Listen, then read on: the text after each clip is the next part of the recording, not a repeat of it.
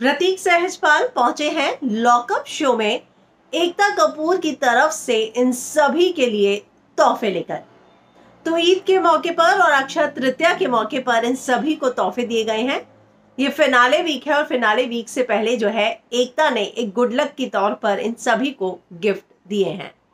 हालाँकि आजमा ये बोलती हुई नज़र आई कि एकता मैम ने कहा था कि वो ईद पर आएँगी तो सभी को पहले ये लगा कि एकता कपूर आ रही हैं। लेकिन आज सेट से पहले ही खबर आ गई थी कि प्रतीक सहजपाल आने वाले हैं और प्रतीक सहजपाल एकता कपूर के तोहफे लेकर जो है, वो जाने वाले हैं। प्रतीक के लिए एक बहुत बड़ी बात है। प्रतीक ये बोलते हुए भी नज़र आए कि रियलिटी शो करने के बाद ये पहली बार है जब मैं इस तरीके से किसी रियलिटी शो में आ रहा हूँ और खासकर जब मैं बिग बॉस में था तो प्रिंस भाई आए थे और आज प्रिंस भाई है और मैं आया हूँ तो मेरे लिए बहुत बड़ी बात है कि एकता मैडम ने मुझे इतना बड़ा चांस दिया। प्रतीक तो ये भी बोलते हुए नज़र आए कि मेरा दिल जो है, वो बहुत ज़ोर ज़ोर से धड़क रहा है। तो ज़ाहिर सी बात है कि प्रतीक सहजपाल के लिए ये वाकई में बहुत बड़ी अचीवमेंट है।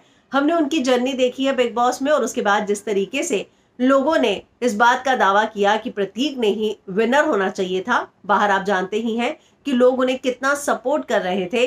ऐसे में प्रतीक सहजपाल जिस तरीके से अपने करियर में लगातार सफलता की सीढ़ियाँ चढ़ते जा रहे हैं, वो काफ़ी शानदार है और अब एक रियलिटी शो में बतौर गेस्ट बनकर वो पहली बार आए और इसी बात का ज़िक्र वो करते हुए नज़र भी आए।